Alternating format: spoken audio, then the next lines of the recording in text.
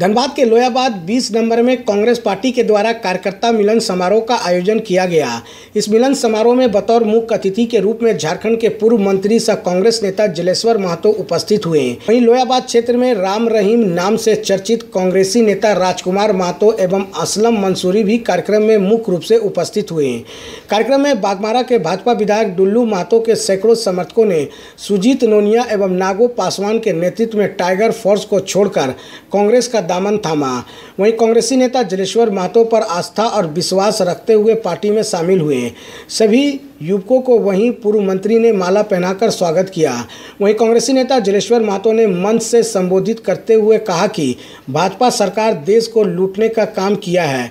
इसका जीता जागता उदाहरण है बागमारा विधायक डुल्लू महतो हैं, जो अपने आप को स्वच्छ और साफ़ छवि का नेता बताते हैं, जो बिल्कुल गलत है। पूरे बागमारा में गुंडागर्दी, रंगदारी के साथ गरीब, असहाय लोगों पर अत्याचार करना इनका एकमात्र काम है। बागमारा विधायक हत्या की राजनीति करते हैं। आउटसोर्सिंग से रंगदारी लेना और डीओ धारकों से पैसा वसूलना इनका काम है। इसी सब कारणों से बागमारा के युवाओं यहाँ से पलायन कर रहे हैं। लेकिन अब बागमारा की जनता जाग चुकी है। अब बागमारा क्षेत्र में ये सब नहीं चलेगा। और यहाँ की जनता मुँह तोड़ जवाब देने के लिए तैयार हो चुकी है। और आने वाले चुनाव में इसका जवाब बागमारा विधायक डुल्लू मातो को मिल जाएगा। यहाँ के बेरोजगारों को रोज़गार से जोड़ेंगे, इसकी मैं गारंटी दे रहा हूँ। इतना रोज़गार यहाँ है, सारा रोज़गार को मैं डिजिटलाइज करूँगा। नौजवानों में, बेरोजगारों में बांटने का काम करूँगा। और ढुल्लू जो सारा रोज़गार पर कब्जा करके बैठा हुआ है उससे नौजवानों को हम यही कर रहे हैं कि उसको अपने ये वोट की ताकत से हटाने का काम करिए और आप अधिकार लेने का काम अभी जो प्रेस कॉन्फ्रेंस के ज़रिए आप आरोप लगाया गया था कि हत्या की राजनीति करते उस पर आप तो बोल रहे हैं कि हम ये तो बताएँ कम से कम ना ये मा, मामला उनको महँगा पड़ेगा। ये केस नंबर बताएँ कौन थाना में हुआ ये बताएँ किसका हुआ है ये बताएँ लेकिन बचने नहीं जा रहे छोड़ने नहीं जा रहे हमें क्या कांग्रेस पार्टी आने से बगमारा का भविष्य बदलेगा?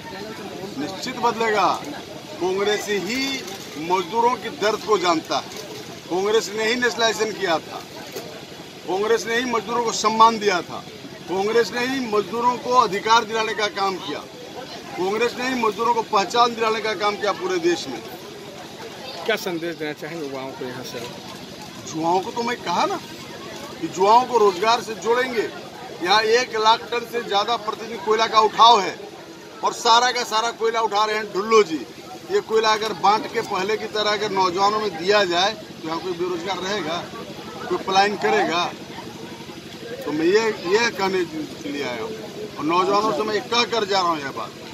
कि तुम वोट में अपना कमाल दिखाओ, रोज़गार से जोड़ने का काम हमारे ऊपर छोड़ दो, हम रोज़गार से वहीं जिलेश्वर महतो ने कहा कि कांग्रेस पार्टी की जीत से ही बागमारा का भला होगा। कार्यक्रम की अध्यक्षता राजू रंजन प्रसाद एवं मंच का संचालन शंकर केसरी ने किया।